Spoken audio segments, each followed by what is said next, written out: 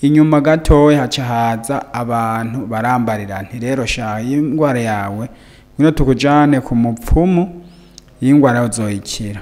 Ubwo ndababwira nti jewe sinshobora guhemukira yesu.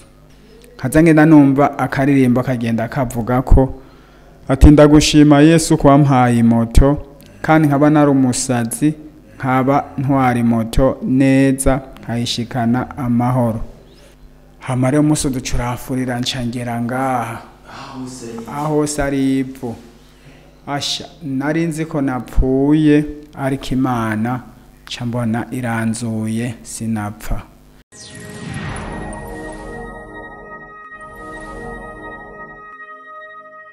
Bakunzi b'ibiganiro bica ku mucora tv turabaramukije twifuriza amahoro y'imana.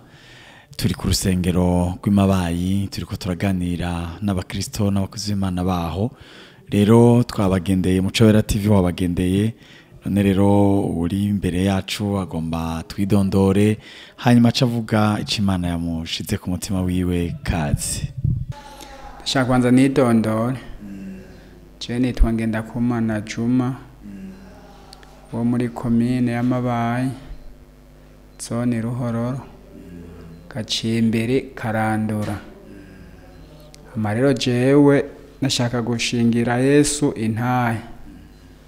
Kuko jewe nakuriye umuryango abantu badakijijwe mugo bigezeho baraza kwihana.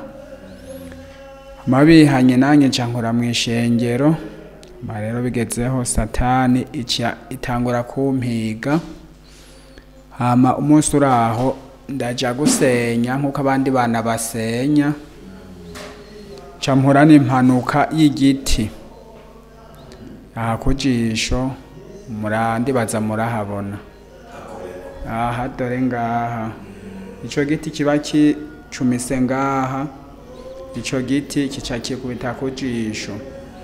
Aho ndamererwa nabi cane mwene wacu twari turi kumwe yavuye mu ishamba ariko ararira.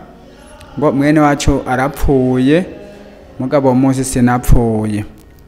Hama narakuze haragera igihe nanjye nza kurondera umufasha. Ngiye kumurondera ndamushikanye nkoze ubukwe nkoze ubukwe muri iryo joro nyene.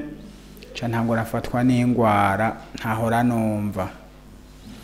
Iyo ndwara rero imaze kumfata mbere abantu b'ababanyi baca batangura bavuga ngo ni we yandoze ko nari nafashwe nkiri umugeni nawe ari umugeni.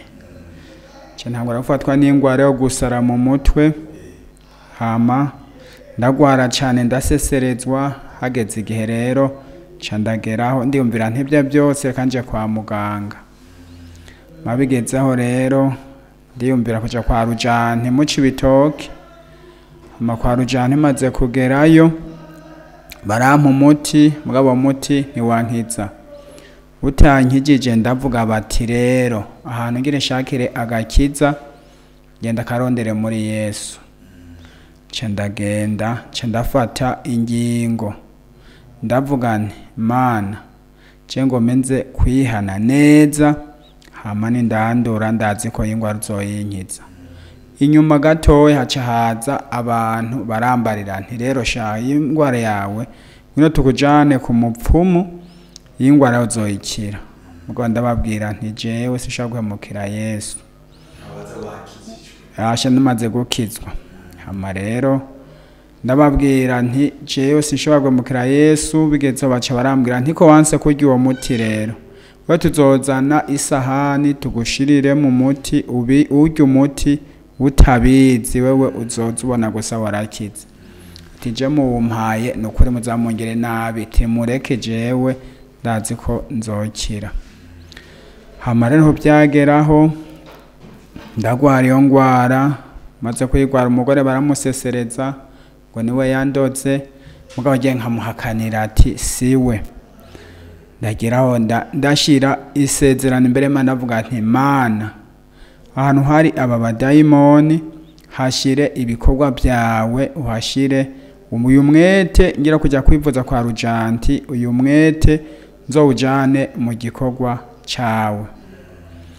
Ndabaho ndivuza biranka mugo maze kuvuga gutyo imana ca numva irankijije kugeza na bugingo n'ubu nashize isezerano imbere y'imana ati imana bavuga ikigo cy'imana mu ijoro. Bakivuga ku zuba. Bakivuga umwanya wose. Ntabwo nshobora gusiba igikorwa cy'imana. Imana irankiza. Mbona ndakize. Hama inyuma yaho nyene umudamu nawe aca afatwa n'indi ndwara afashwe n'indwara. Aragwara imyaka myinshi cane. Babigezeho. Abandi bantu nyene bongera baraza kandi barambarira ngo ngo nja ndamujane mu bapfumu. Ndamubwira ati je mu bapfumu sinzojayo. Hama bigezeho ni ho abiwabo bansesereza nabo nyene baravuga bati je ntegerezwa kugutwara umwana wacu tumujane kwa ku bapfumu kugira tumuvuze. Hama rero ni ho je nabwira ati nimumujane ubwo bamujanye mugegeranye kuma ahantu nyene baca basanga. Nta byo kumuroga nta biriho. Mugabo nawe ndavuga ati yesu ukazomukiza ati nzogukorera kugeza gupfa. Ziba intahe zibiri. Niho byageraho ndabaho. N'ubundi satani ntiyamva inyuma n'ubundi iguma iriko irampiga. Impize ni ho byageraho haraba igihe ndahura n'ibintu by'ubukene. Ndaseserezwa satani iransesereza maze guseserezwa nkimwe n'ubukene imana ndayisaba ati imana kureme ko nguma nkenye gutya naciye mu ngorane zingana gutya bimeze gutya atureme ko nshobora kuma muri ibi. Aho byageraho remana ikiranyibuka maze kunyibuka. Ba bandi bahora banyita ngo ndi umusazi baca barahindura izina baca barahindura izina ti wa musazi ahora ajya kwa rujanti babonye maze kugura imoto baca bavuga ati nguwo bosi arahise. Ku kazina karabaho nyene nanje mu mutima nyene nkumva narakize mu yangwara nafata akamoto ndiko ndamanuka nza ino gusengera ngaha kuko hari ububwiriza atari kaza ngenda numva akaririmbo kagenda kavuga ko ati ndagushima yesu ko wampaye moto kandi nkaba nari umusazi nkaba ntwara moto neza nkayishikana amahoro. Ibyo ndabibamwo haragera igihe ya moto iby'isi murabizi birahinduka irahera. Maze guhera rero ndongera ndahura n'ubukene birango- birangora ndaseserezwa n'ibintu runaka bimaze kunsesereza nko badutumaka muri santere habaye amiga nk'aya nyene. Nca ndaza nari naseserejwe n'ibintu by'amadeni byo mu mashirahamwe n'ibindi. Aho mbona rero jewe ubu ishirahamwe nzojyamwo n'ishirahamwe ryo mu- ryo muri leta ariko ajya amashyirahamwe ajya mu bitoki ntabwo nzoyasubiramo. Kuko yaransesereje atuma. Sintanga ikigira cumi.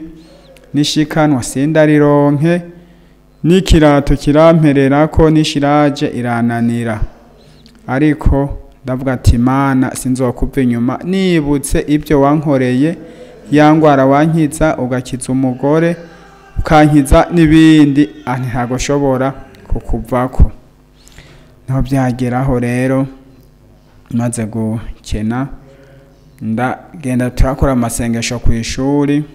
Haraza abantu batoye nyene mu mugwi baca batora jewe ngo bargemba umukuru wabo.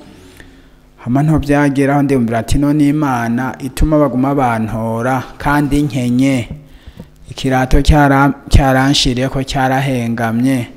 Twaza mu masengesho nkazana ipataro izinze. Tese nzoce ndabigenza gute? Ngabo nkavuga hari korasi ivuga ngo guma ku masezerano y'imana. Ntabwo imana izoguhemukira nkabigumana mu mutima. Mugabo gatoya ndafise umubyeyi wanjye mama. Uwo yama ampanura ambaza ati we ko mbona bitameze neza? Bimeze gute? Nkamubwira ibibazo mfise akamba hafi iminsi yose akamafasha mu bibazo byose twama duhura na byo. Mbere byanashika ndanageze no muhira. Asha ndahageze ari n'udufungurwa ntashobora kuvayo ntaturose. Aramba hafi cyane urumva umubyeyi ndamukunda cyane nanjye asha imana inyibutse ntabwo nzabamwibagirwa hama rero ntubyageraho ibintu birangora amashyirahamwe amadeni. Umuntu aransesereza ku bintu by'amadeni ndavuga ati agamana agenzi wabigenza gute? Turazi no muri santere. Tumaze gushika ino muri santere haraba ibiganiro nk'ibyo by'ijambo ry'imana haraba igiteramo hamara bacavuga ati ubu ni ukwiyemeza. Ubwo bavuga ati ni ukwiyemeza. Noti none giye ko nta mahera afise niyemeza iki? Nca ndiyumvira mu mutima nca numva ijwi rimbwira nti niwiyemeze nuyabura nta ngorane. Ariko naho wiyemeza wiyumvire ko ufise amadeni ese uzoca uyakura. Imugo ryajwi rirambandanya ati nyamara niwemere wiyemeze. Nca ndagenda nca ndiyemeza mu bandi. Hamara ukumbure hari ikintu nari natanze. Mvuga nti iki kintu kubwo amadeni mfise ninzo ninzobura amafaranga cya kintu nzoca ndagishora ndagitange. Niho byageraho ndasenga imana ndajya ku rusengero hariho ahantu navuze ati imana wewe iki kintu cyanjye ukazemera ko kigenda? Ntabwo uzobura imana ati nzoca mvuga ko utari imana. Niho byageraho rero nsenze gutyo. Imana ndanzaha muri santere nca ntanga amahera ibihumbi icumi. Ntanze ibihumbi icumi nageze mu nzira ahantu bita mu gasebeye duhura n'umuntu ahita ampa ya note ibihumbi icumi natanze. Mbo ngeze ahantu ku bubwirizi iwacu. Nca mvugana n'umuntu akantu runaka nari nasize ku isoko kari kamaze imyaka myinshi karanse kugugwa ndabura n'umuntu akangurira. Hama bigezeho rero no umuntu yaza nca ndamubwira ka kantu nca mbona mpaye ibihumbi majana atanu. Nca ndavuga ati yesu tibugira umugabo. Bwa budeni deni nari mfise nca ndagenda nca ndishura ibiharage. Mugabo ikintu suba inyuma gato ikintu nabambuye gukora muri byose. Navuze ati amara ndahawe n'imana. Ase mbanza nkuramo iki- ikigira cumi cy'ibihumbi mirongo itanu. Ndagishikana ku rusengero mbona gukoresha ayasigaye hama rero ibyo mu by'ukuri nkaba ndabishinzemo intahe imana ikaba arangiriye neza kandi nkaba nasezeranye ko nzoyigwa inyuma. Ko ntazokwigera ndayivako kubera ko bazi ibyo yankoreye yarankoreye ibintu bihambaye cyane kandi ikintu noshingira ko intahe imana yarampaye umuryango wanje hama umuryango wose uriho ndafise papa ndafise mama na bene wacu bariho na mushikange bose bariho ibyo na byo nkaba ndabikengurukira imana. Ikindi kintu noshingira ko intahe hari umunsi uraho nagiye kwimba ahandi hantu umusozi. Ndiko nda- nda- ndaca umuserege ahantu umusozi uca uramfurira nkawo mfuriye ngo mpfe. Hama rero umunsi uduca uramfurira nca ngera ngaha.